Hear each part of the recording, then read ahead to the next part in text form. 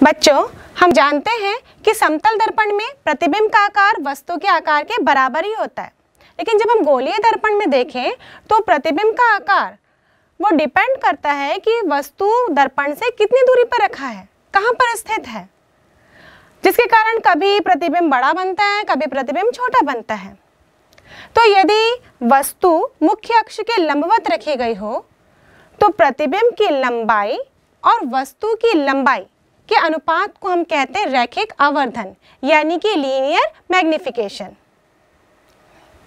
यदि हम linear magnification को दर्शाते हैं m से तो लीनियर मैग्निफिकेशन का फॉर्मूला हुआ m बराबर प्रतिबिंब की लंबाई अपॉन वस्तु की लंबाई. प्रतिबिंब की लंबाई को हम दर्शाते हैं I से और वस्तु की लंबाई को दर्शाते हैं O से, यानी कि m बराबर होगा I अपॉन O. और इससे पहले जब हमने दर्पण सूत्र ज्ञात किया, वहाँ पर हमने एक समीकरण लिखा था। A B upon A dash B dash is equal to P B upon P B dash जहाँ ए बी वस्तु की लंबाई थी और ए डैश बी डैश प्रतिबिंब की लंबाई। वैसे ही पी बी यानी कि ध्रुव से वस्तु की दूरी थी और पी बी डैश प्रतिबिंब की ध्रुव से दूरी थी। अब इस समीकरण को मैं रिवर्स करूँ, यानी कि A dash B dash upon A B is equal to P B dash upon P B लिखूँ। तो यहाँ पर जो ए डैश बी डैश है, वो क्या है? प्रतिबिंब की लंबाई। और ए बी क्या है? वस्तु की लंबाई। तो इस प्रकार रैखिक आवर्धन का फॉर्मूला बन जाएगा m बराबर प्रतिबिंब की लंबाई अपॉन वस्तु की लंबाई इक्वल टू ये और किसके बराबर होगी? ये तो हमने लंबाई के टर्म्स में निकाला। यही दूरी के टर्म्स में क्या बन जाती है? प्रतिबिंब की ध्रुव से दूरी अपॉन वस्तु की ध्रुव से दूरी। इस प्रकार जो रैखिक आवर्धन का फॉर्मूला होता है, वो होगा m बराबर प्रतिबिंब की लंबाई अपॉन वस्तु की लंबाई बराबर प्रतिबिंब की दूरी अपॉन वस्तु की दूरी। अब इस फॉर्मूले को हम दोनों ही दर्पण के लिए देखते हैं, अवतल और उत्तल यदि हम अवतल दर्पण के लिए देखें तो इसमें दो प्रकार के प्रतिबिंब बनते हैं। इसमें वास्तविक भी बनता है और आभासी भी बनता है। यदि वास्तविक प्रतिबिंब का निर्माण हो रहा है तो ये दर्पण के सामने ही बनेगा और ये उल्टा बनेगा। इस कंडीशन में हम, जो वस्तु की लंबाई है, उसको तो धनात्मक ही लेंगे, क्योंकि वो सदैव मुख अक्ष के ऊपर ही होगा, लंबवत। लेकिन जो प्रतिबिंब है, उल्टा बन रहा है तो प्रतिबिंब की लंबाई को हम लेंगे माइनस आई। और दूरी की बात करें तो ध्रुव से जो वस्तु की दूरी होगी यू, ये भी ऋणात्मक होगी। और ध्रुव से प्रतिबिंब की दूरी, ये भी ऋणात्मक होगी।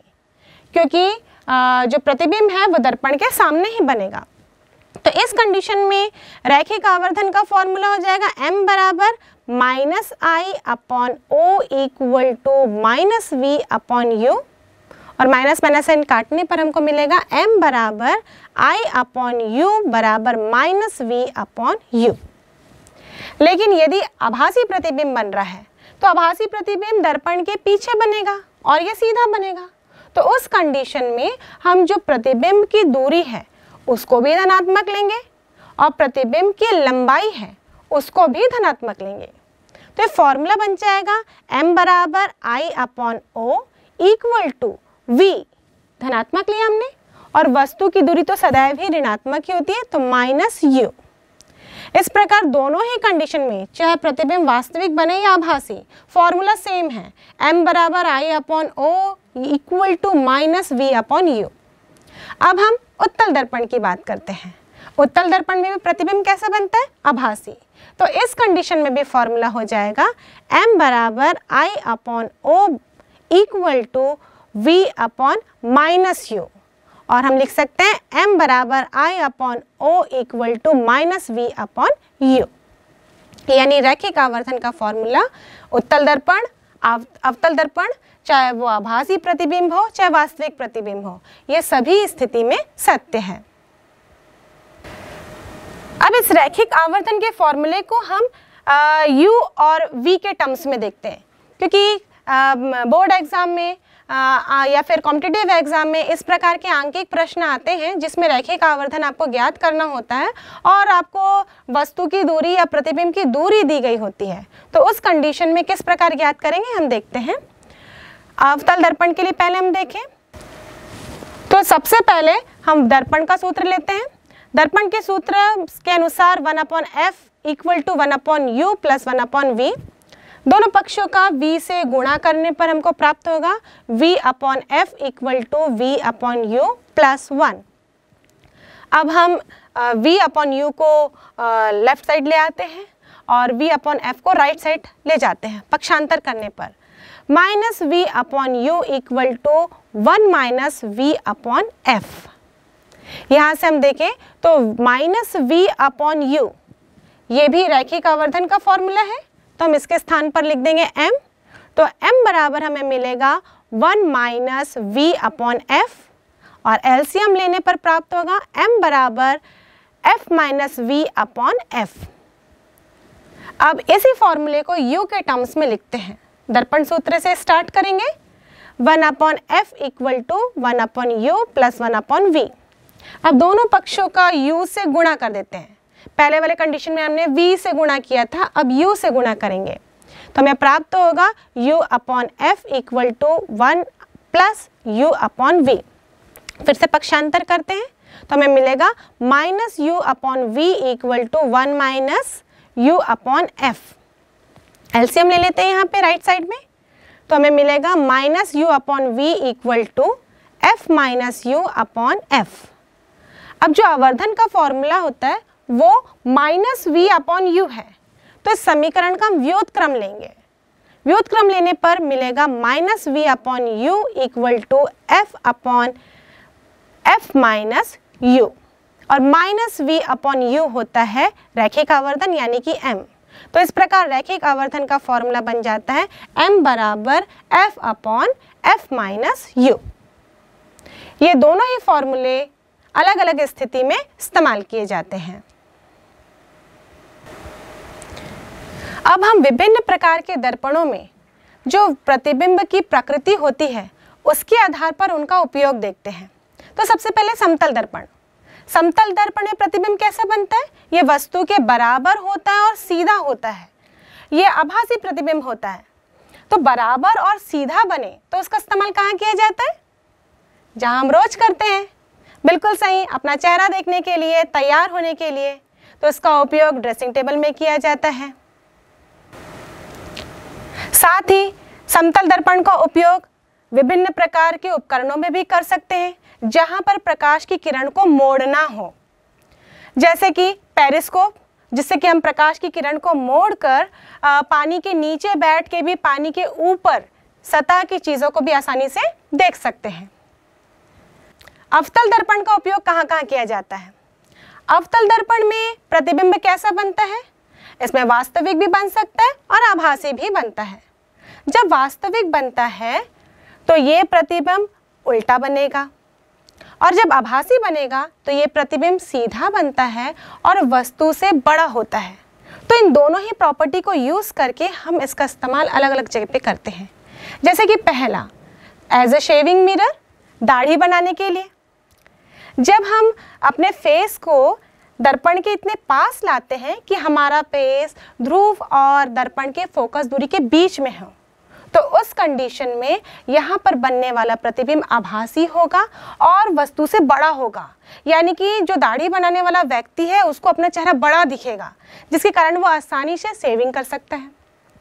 दूसरा डेंटिस्ट जो डेंटिस्ट होते हैं, आप देखे होंगे, जब चेकअप कराने जाते हैं तो एक इतनी बड़ी सी पाइप रहती है, जिसमें छोटा सा मिरर लगा होता है। उसको चेहरे के अंदर, मुँह के अंदर घुसा घुसा के वो दांतों की स्थिति देखते हैं कि दांत कहाँ पर टूटे हुए हैं या ठीक है, कहाँ कीड़ा लगा हुआ है।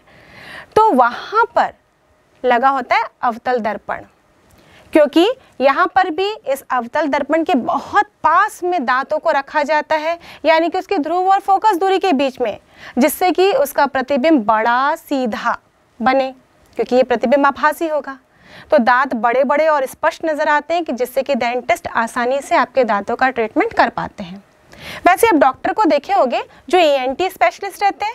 आपने देखा होगा वो सिर पे एक पट्टी टाइप की बांधे रहते हैं और उस पर यहाँ पर एक मिरर लगा हुआ रहता है। और वो आपको अपने सामने बैठा लेते हैं, जहाँ से एक प्रकाश स्रोत आपके पीछे से आती हुई है, होती है और वो आपके गले का या नाक का या कान का चेकअप करते हुए होते हैं। उस समय जो प्रकाश उनके सिर पर लगे हुए मिरर में टकराती है, वो मिरर भी अवतल दर्पण होता है।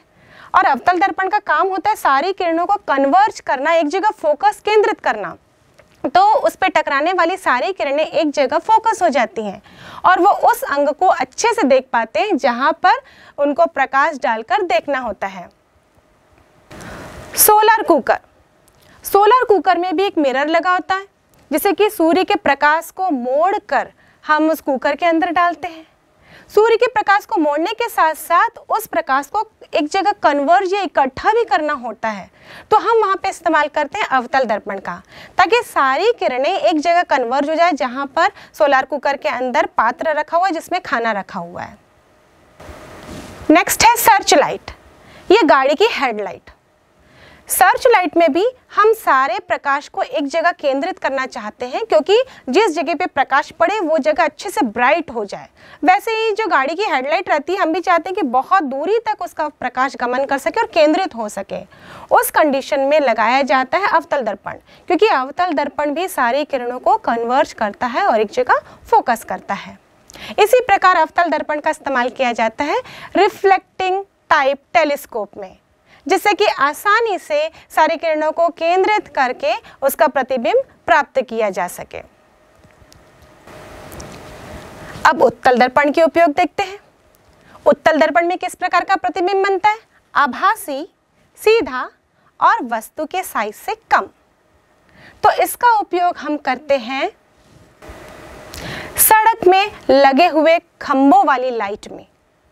जो सड़क में खंभे लगे होते हैं उसके अंदर जो उसमें जो लाइट लगा होता है उसके पीछे जो आ, आ, मिरर होता है वो उत्तल दर्पण होता है जिससे कि सारी किरणें उससे टकराने के बाद फैल जाएँ। और फैल जाएँगे तो वो ज़्यादा एरिया को ज़्यादा क्षेत्र को कवर कर सकेंगे जिससे कि बहुत दूर तक उजाला हो सकता है। इस उत्तल दर्पण का इस्तेमाल किया जाता है स्कूटर कार बस आदि में जो सामने मिरर लगे होते हैं। ये सारे मिरर उत्तल दर्पण ही होते हैं। इससे प्रतिबिंब की प्रकृति तो मैंने बताई। तो इसमें जब प्रतिबिंब छोटा और सीधा बनेगा तो उसका फ़ायदा ये है कि हम पीछे के एरिया ज़्यादा कवर कर सकेंगे। मतलब पीछे बहुत सारी वाहनें आ रही हैं जिनका प्रतिबिंब आसानी से स्पष्ट रूप से इस मिरर में बन जाएगा और हम बहुत ज़्यादा व्यू कवर कर सकते हैं।